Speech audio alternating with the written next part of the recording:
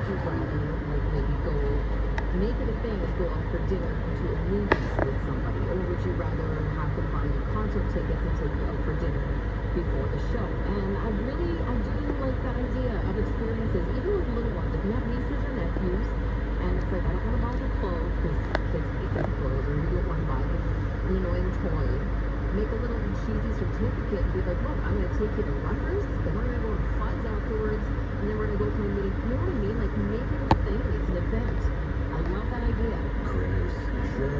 baskets and shines.